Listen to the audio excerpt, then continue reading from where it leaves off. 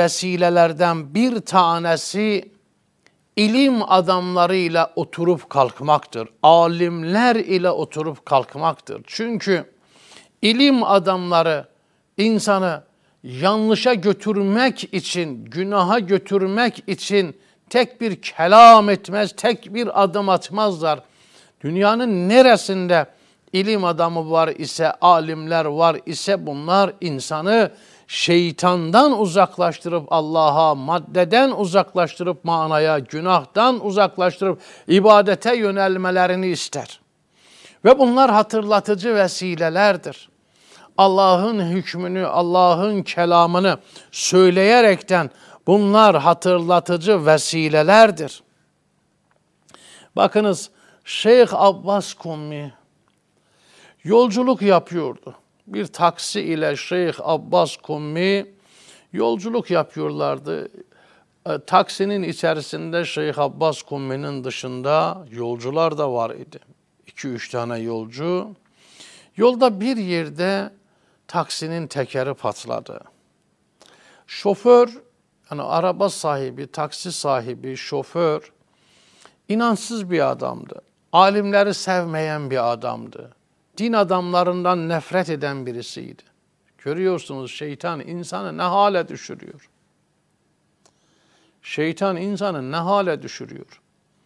Bir insan evinden çıkarken abdest ile çıkan, yatağına girerken abdest ile giren, cebinde Allah'ın kelamını taşıyan, ağzında Allah'ın kelamı olan birisinden niye nefret eder? Neden nefret eder düşünebiliyor musunuz?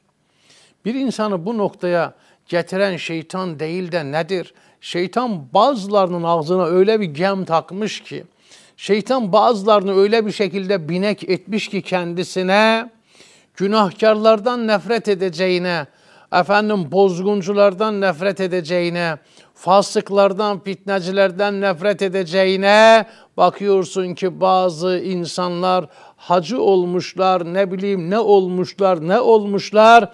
Ama evinden çıkarken abdestle çıkan, yatağına girerken abdestle giren, cebinde Allah'ın kelamını taşıyan, ağzında Allah'ın ayetleri, peygamber ve ali peygamberin hadisleri olan birisinden nefret ediyor bazıları. Onu bu noktaya getiren nedir?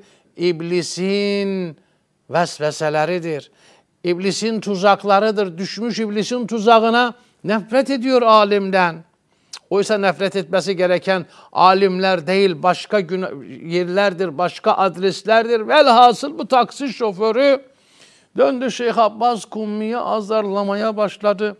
Bu uğursuzluğun sebebi sensin. Sen benim arabama binmeseydin arabamın lastiği patlamaz idi. Bakın.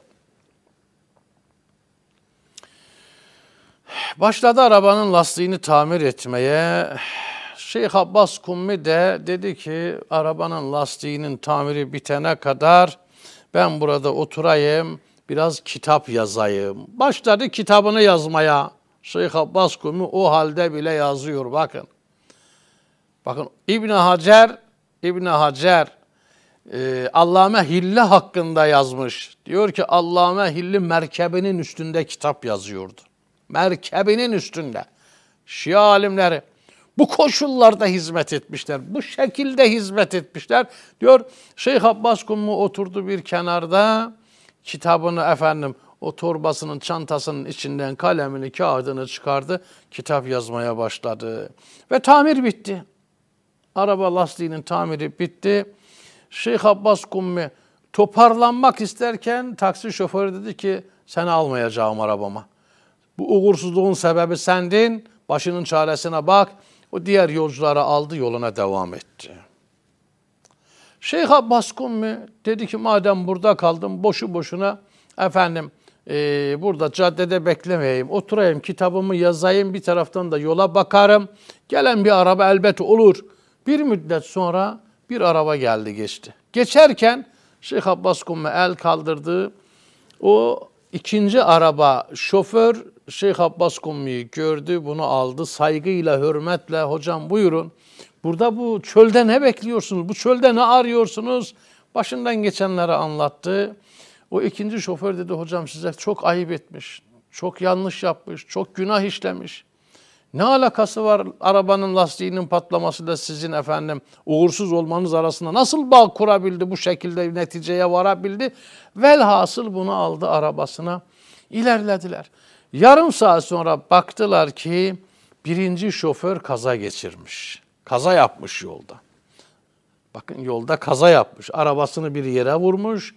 Efendim can kaybı yok. Arabanın yanındalar ama araba gidecek vaziyette halde değil. Bunlar indiler, bunlara yardımcı oldular. Şeyh Abbas Kummi de bunlara yardımcı oldu.